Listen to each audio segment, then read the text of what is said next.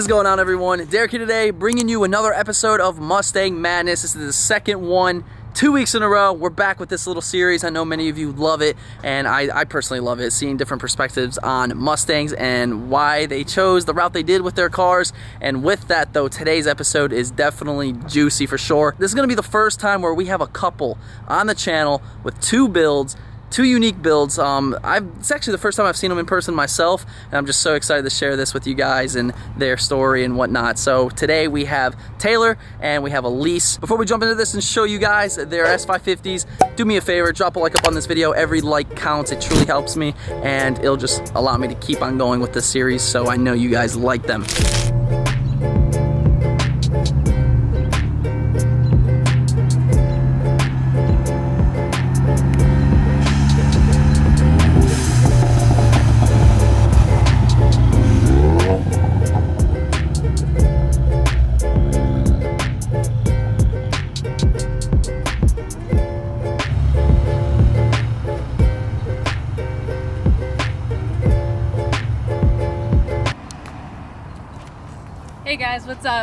I'm Elise. Uh, this is my 2017 S550 EcoBoost. What's going on guys? My name is Taylor and this is my 2018 EcoBoost S550.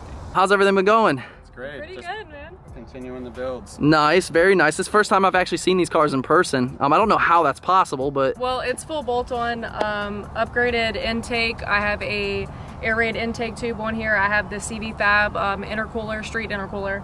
Um, the Turbosmart 10 PSI wastegate, um, powder coated aluminum charge pipes, um, turbo back exhaust on it. It is Pro Tune, Trans Tune, and I'm actually running um, E30 right now as well. They're the Oddhons. They're 20 by 9 in the front and 20 by 10 and a half in the rear with 255s up front and 305s in the rear. So it's the magnetic metallic. It's actually one of my personal favorites as far as Mustangs. My first Mustang was a 2002 and it was mineral gray. So it's very It's very similar. close. Yeah, yep. It's very similar. No, it looks awesome, especially with this um, wheel and tire setup, the color. And I see you got some tin on here. What do we have, like 15%? Uh, 20%. 20%? windows and then a 5% strip on the windshield. Okay. It's the basically knockoff version of the RTR grill. Um, it did light up at one point in time. Um, for about two weeks solid, the first grill that I put in here, it lit up and it got water in one of the lights. So I decided to buy a second one and the second one ended up doing the exact same thing. So plan on doing a GT350 front bumper on this. Oh, that's gonna look really good. That's Yeah. definitely my favorite on this 550s. yeah, that's- for sure. my If I owned one, that was like the one modification that is a absolute must right out the gate is a 350 front Hopefully bumper. Before Mustang Week, it's going on there, so we'll see. This is the uh, GT350R wing, and then I have the Drake Muscle um, deck lid, and then the boosted emblem is from Late Model Restoration. So my exhaust is a mutt. I love it. So I have the CV Fabrication catless downpipe, I have the Flowmaster Y pipe, and then I have the Next Step axle back. So it's just, it's a mutt going on of exhaust. And a lot of people tell me, they're like, dude, your exhaust sounds freaking awesome. And I'm like, you know what?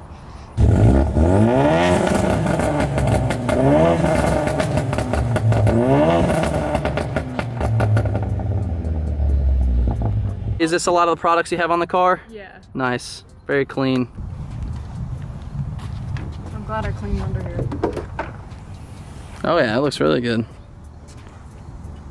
Very clean. Um, in September, I will have it for two years. Two years in September. Yep. So, I have to ask, what made you go EcoBoost and S550 at that? I have loved Mustangs ever since I have been able to pronounce the word, to be completely honest. Um, I love turbo cars. I have always had a love for turbo cars, so once I found out that Ford made a Mustang, which is my favorite car in the entire world, and slapped a turbo on it, I was like, dude, I've got to have it. I know that they're really iffy. You know, we got the whole eco boom thing going on. You know, if it's not built correctly, yeah, I mean, stuff can go wrong. But if you do things the way that it's supposed to be done and you're safe about it, they're very reliable and very quick cars. So, Three things you absolutely love about it and three things you despise and would want to change. Go.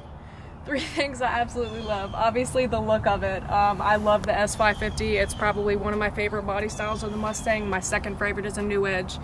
That was my first Mustang, so I do love the New Edge. Um, I love the sound of it for a four cylinder. It is a amazing sound. Um, and third thing is just the torque, dude. The torque on an EcoBoost. Once you start doing things to it, it is it is it's not matched. It's crazy. Three things I hate about it. Um, I constantly have boost leaks. Um, I am constantly chasing misfires.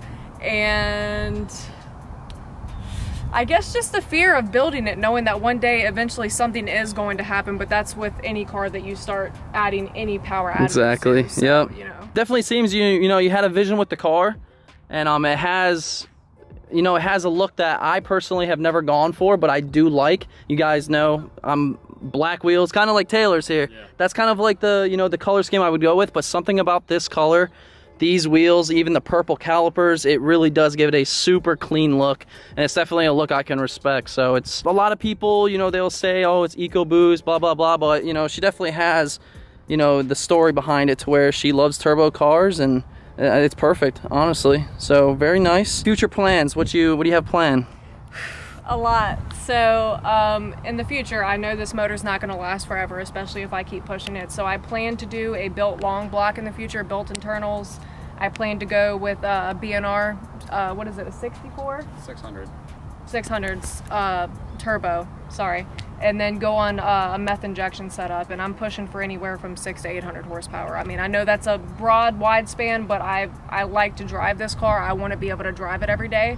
So I'd be happy, honestly, with anywhere from a five to 600 wheel horsepower car just to be able to drive on a daily basis. So. definitely see that happening because you work with evan and you you're you're in the shop getting dirty and stuff aren't yeah, you I where do you with work at I work at Toyota. toyota and you're a tech there right I am. that's awesome so i'm assuming you did pretty much all this to your car I, every single thing that has been done to this car, I've done myself. So. that's awesome what do you think taylor you want to show us around your 2018 and Sure, let's do it. let's do it man what made you get into this you can't copy her either because everybody's story is different My parents, when I was growing up, had countless Mustangs, GTCS. Uh, my dad had a 35th anniversary with a Stalker package on it. Um, I wish that I could find that car, but it's probably gone forever. My parents bought a um, blue 2018, and I test drove it.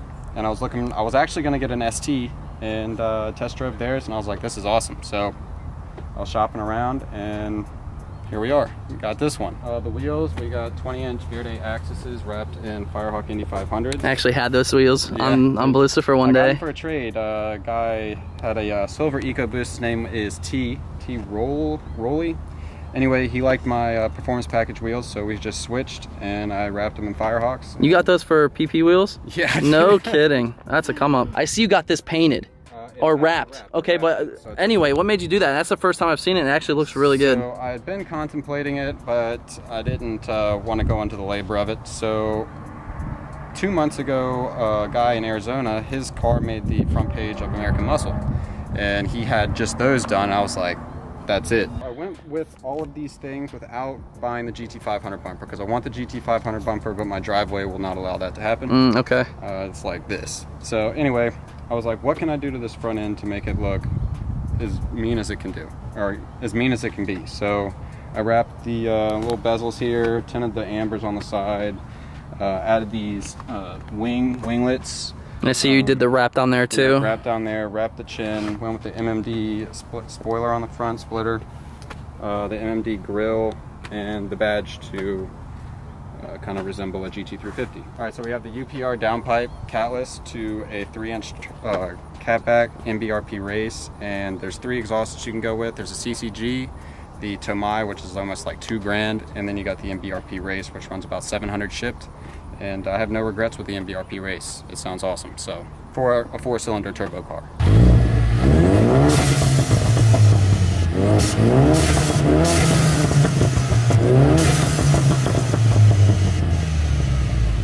Yeah, you guys let me know though. Which one is your favorite? Comment down below. Also drop a like up on this video. You got the red, with the black, We have the gray with the polished. Two different looks, but both look incredible.